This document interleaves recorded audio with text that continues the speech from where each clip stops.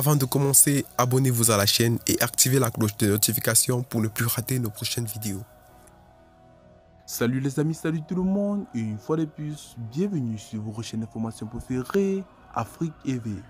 Aujourd'hui dans cette étape, une nouvelle partie d'informations, notamment du côté du Burkina Faso, où nous avons l'enlèvement d'un haut gradé poursuivi pour tentative de déstabilisation.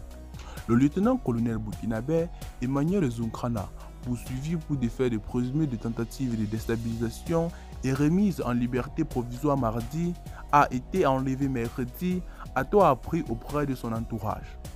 Mon épouse vient d'être enlevée par des hommes aux alentours de sa résidence après avoir été libérée par la justice. A écrit sur les réseaux sociaux l'épouse d'Emmanuel Zunkrana, Aminata Diara. Il a été enlevé alors qu'il venait de quitter sa résidence surveillée pour rentrer chez lui, suite à une décision euh, du tribunal militaire de mettre fin à son placement en résidence surveillée, a expliqué à l'AFP un proche du lieutenant-colonel ayant euh, raquis l'anonymat. Monsieur Zunkrana, 42 ans, avait été interpellé une première fois et incarcéré notamment pour tentative de déstabilisation des institutions de l'État le 14 janvier 2022, alors que le Burkina Faso était encore gouverné par le régime civil de Rochma Christian Cabreux. Cet ex-chef de corps euh, du 12e régime d'infanterie commando basé dans la région du Nord avait été remise en liberté provisoire une première fois le 15 décembre de la même année.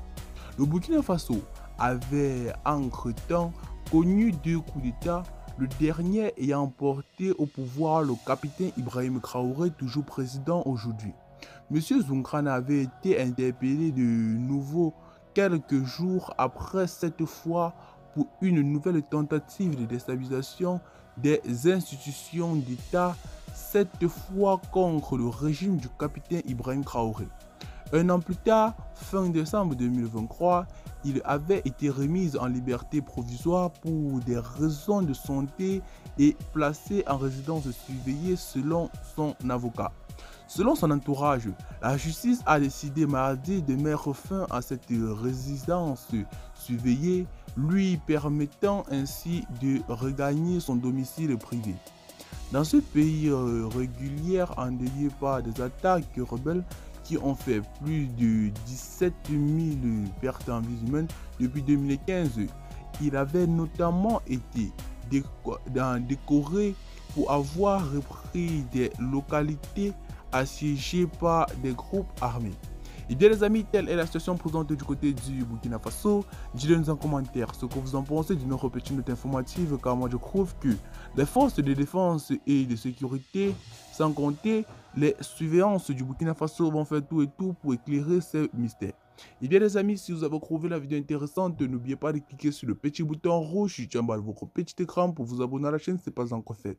Activez la cloche de notification dans le principal but de ne rater aucune de nos prochaines vidéos et à très bientôt pour une nouvelle partie d'informations. À très bientôt les amis, bye bye